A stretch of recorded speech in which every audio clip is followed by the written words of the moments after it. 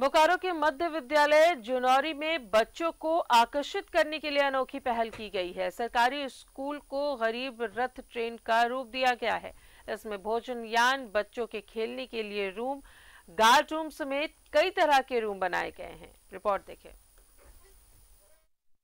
गरीब रथ की ट्रेन ने सीटी दी, गार्ड ने झंडा दिखाया और ट्रेन चल पड़ी। लेकिन अब तक तो ये आपने समझ लिया होगा कि ट्रेन नहीं है, बल्कि एक स्कूल का भवन है।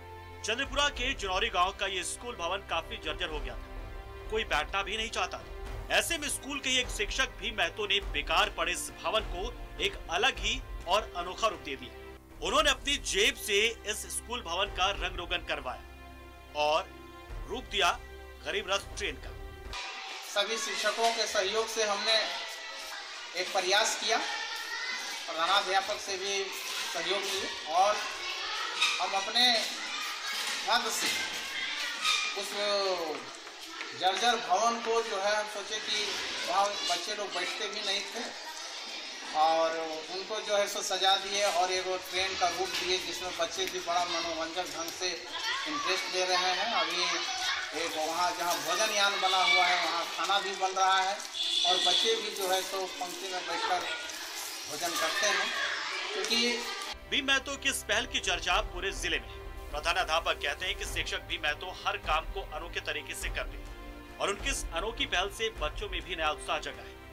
आइडिया होता है, एक अलग ही टाइप का होता है, अद्भुत होता है। ये चूँकि बिल्डिंग जो है, कुछ दिन के बाद टूटने ही वाला है। जैसा कि हम लोग जान रहे हैं कि हमारे माननीय शिक्षा मंत्री श्री जगन्नाथ महतो जी जो है, इस विद्यालय को हाईटेक करने जा रहे हैं, जिससे इस एरिया के पूरे बच्चे, आसपास के जितने भी क्षेत्र के बच्चे हैं वो फ्री में जो है एक प्राइवेट स्कूल का मतलब लाभ उठा सकेंगे। गुरुवार को स्कूल भवन का विधिवत उद्घाटन विद्यालय के प्रधानाचार्य प्रदीप रजक और शिक्षक भी महतो ने पूजा अर्चना करके की। इसके बाद बच्चों को प्रवेश कराया गया। आज स्कूल हाईटेक स्कूल बनने वाला और इसकी चर्चा पूरे ज़िले में हो रही है। न्यूज़ इलेवन भारत के लिए बोकारो से सुरेंद्र की रिपोर्ट। और बुलेटिन में फ़िलहाल इतना ही। नमस्कार।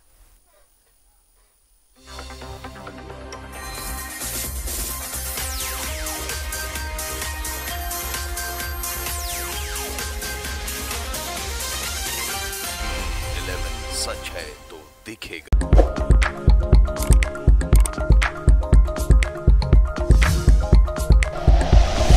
Like and share videos, subscribe करें हमारा चैनल और प्रेस करें बेल आइकॉन न्यूज़ 11 भारत सच है तो दिखेगा।